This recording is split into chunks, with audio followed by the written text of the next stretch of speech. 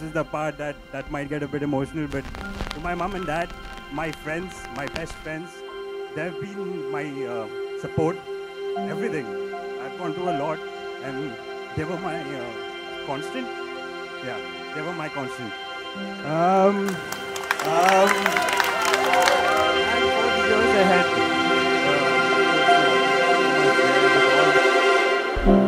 Congratulations, Jyotsna and Benston. Congratulations to the D'Souza and Tarakan family. So, like he said, I've had a childhood with both Jyotsna and Benston. We studied in the same school and pretty much grew up together.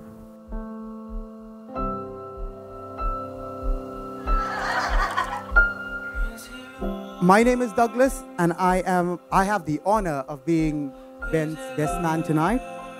Benston, for those who don't know, is my cousin.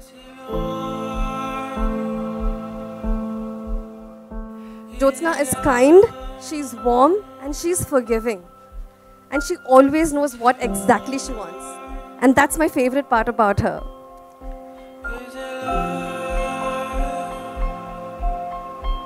His family and friends are the most important thing in the world for him, and he'll go to extreme lengths to make sure that they are well taken care of. I've known Jyotsna for a few years now, and I'm so happy that she's finally part of our little D'Souza clan.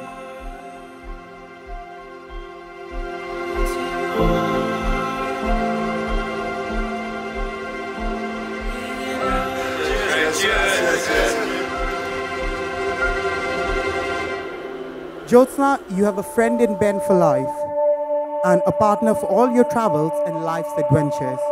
Wishing you guys the best. Rider, leave me alone. I, Benston, I won't go take you, Jyotsna, into the be my wife. dark like an animal. Take you, Benston, to be my No, no, I won't I promise to be true to you, good times and in bad. in sickness and in health. I will love you and honor you all the days of my life. Benston and Jyotsna have exchanged their vows and exchanged the rings. The TV told me. Let us give give it up. The TV told me to rip you up. I Uh, so, congratulations, in my Jyotsna and head. Benston. I wish you a lifetime of happiness. And I love you both. And I will haunt Wishing you guys the best.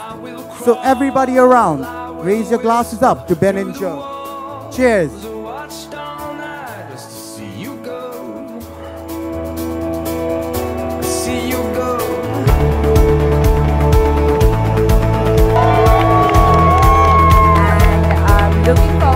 All of us having a fun night ahead of us, dancing and dancing.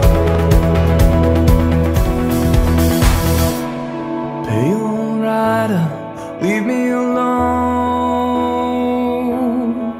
I won't go into the dark like an animal.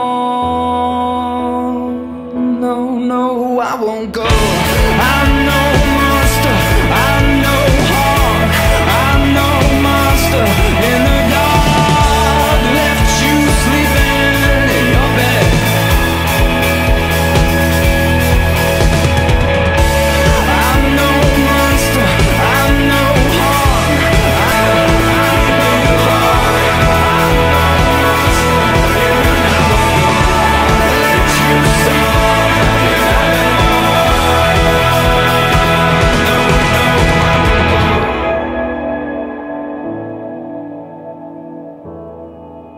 I love you, Jyotsna, and if I could, I would marry you again tomorrow.